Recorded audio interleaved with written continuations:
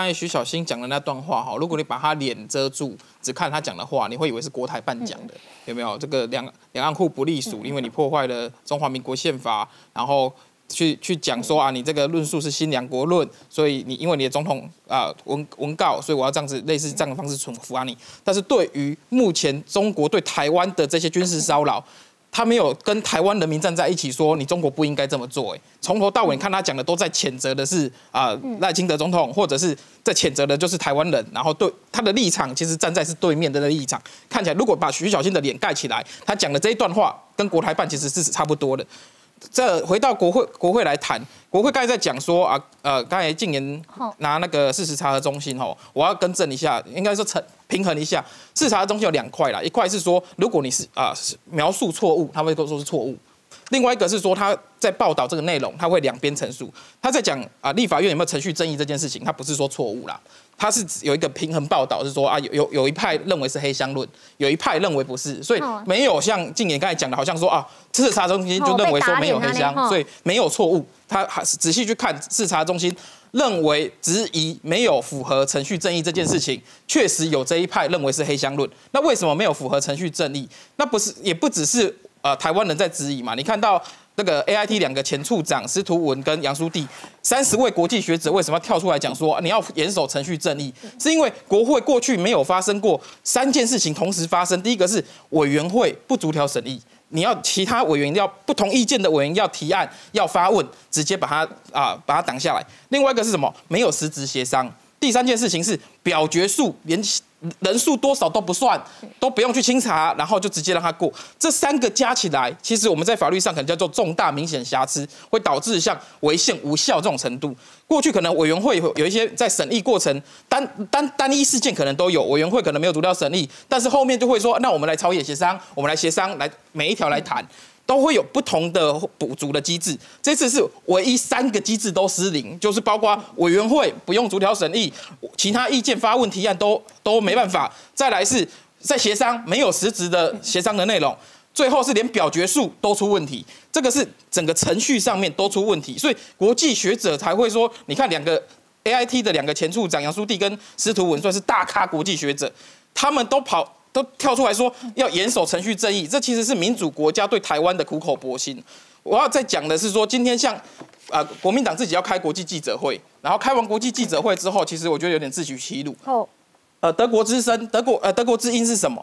德国是法治大国，大家都知道，台湾很多的法律都引用德国，然后现在也有很多法律在引用美国，所以德美两大体系是台湾法律上面常用。我们翁老师也是德国学成归国。是，然后。德国之音问了吴宗宪，呃，吴宗宪这个宪哥啊，今天又搞笑又开始了。好，我这个他问他说反咨询的定义，到底怎样算反咨询？对，那我们知道在法律上面，法律明确性的原则就是可理解、可预见、可审查，所以你至少要讲出可理解跟可预见是什么嘛。结果我们的宪哥呢，国民党的立委回答德国之音是说，哦，这个我们立法完成后，吼，再跟人民交代。哎，德国人其实是很严谨的，他对于法律上面的用字遣词定义如何，法律明确性要求，在台湾的大法官解释，其实很多都是引用德国法律进来。我刚刚讲的可理解、可预见、可审查，法律明确性的原则的这个审查基准，也是引用德国进来的，这是大法官解释的内容。结果今天。大呃，德国之音用的只是问你说啊，你明确定义是什么？你告诉我反直询是什么？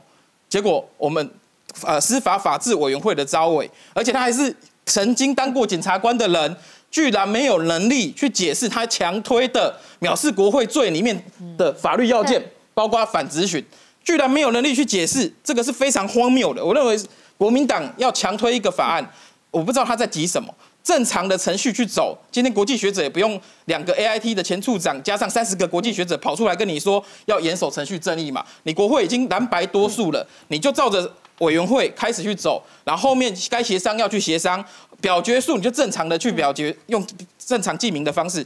结果现在是三个程序都乱掉之后。连实体内容，我们刚才讲的是程序，现在讲实体内容，法律上面法律明确性，反咨询是什么？德国之音问国民党，应该算是目前立法院里面应该算是法制委员会招委，应该是法律他说的算嘛？结果他没有能力讲，还当过检察官，法律明确性的要求在大法官解释里面，可理解、可预见、可审查，你的理解是什么？讲出来嘛？德国人想听啊，国际记者会外国人想听，可理解他。反咨询的理定义理解是什么？可预见，什么情况是可预见的？是难道像叶元之今天在那边刚才影片里面，叶元之讲说啊，那个我今天问你，他问不出答案，就说难道我要定表示国会罪吗？那每个官员以后到立法院去，只要讲的不符合这个立委的主观的意思，我就办理藐视国会吗？